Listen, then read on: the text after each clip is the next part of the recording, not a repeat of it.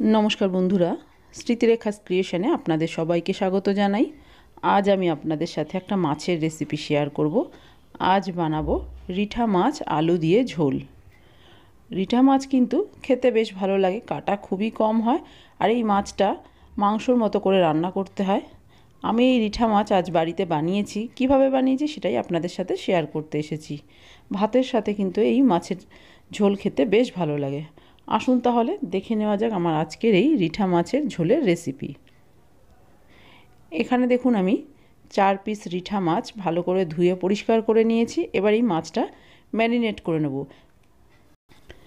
মাছের মধ্যে দিয়ে দিচ্ছি হলুদ পরিমাণ মতো আর দিয়ে দিচ্ছি লবণ।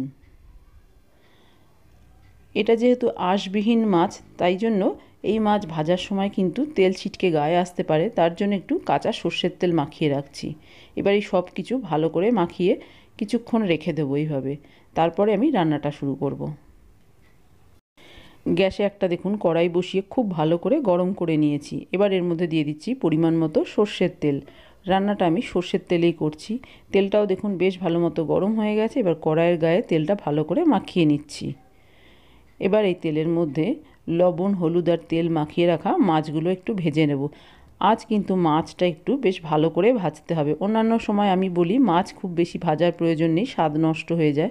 কিন্তু এক্ষেত্রে একটু মাছটা ভালো করে ভেজে নিতে হয়, নাহলে ভালো লাগবে না খেতে।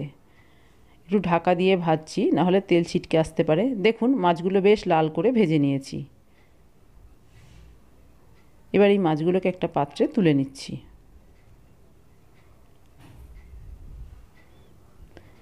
এবার এই তেলের মধ্যেই আলু ভেজে নেব।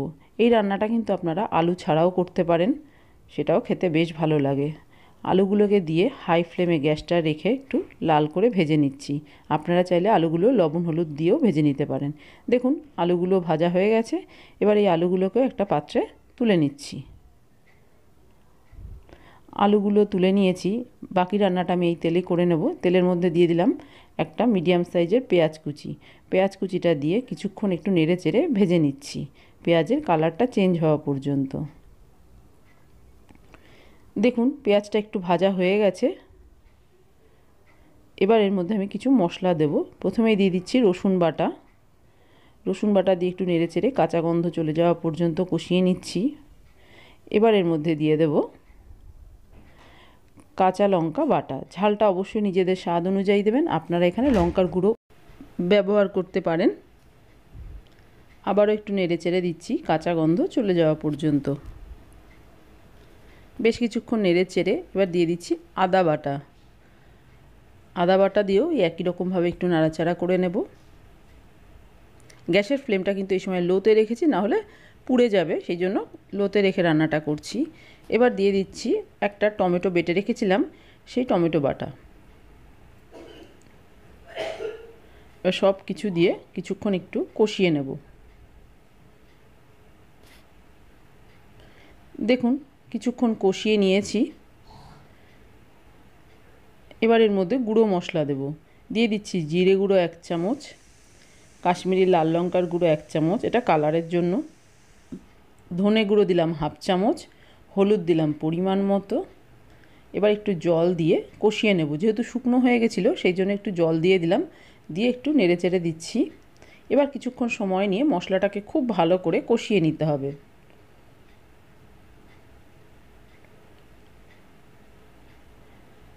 একটু নেড়ে চেড়ে এবার ঢাকা দিয়ে কিছুক্ষণ কষিয়ে নেব। গ্যাসের ফ্লেমটা কিন্তু লোতেই রেখেছি। দেখুন, কিছুক্ষণ ঢাকা দিয়ে কষিয়ে নিয়েছি, এবার ঢাকনাটা খুলে একটু নেড়ে চেড়ে দিচ্ছি। মশলা খুব ভালো করে কষানো হয়ে গেছে।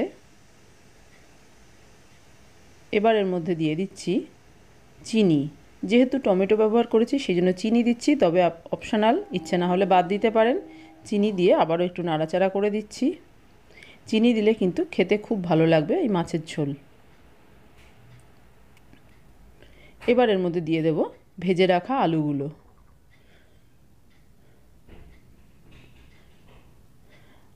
আলুগুলো দিয়েও একটু নেড়ে চেড়ে কষিয়ে নেব মশলার সাথে, এতে আলুর স্বাদটা ভালো হবে।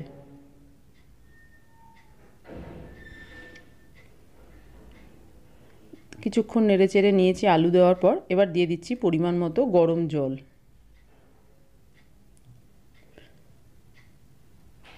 জল দিয়ে ভালো করে নেড়ে চেড়ে দিচ্ছি।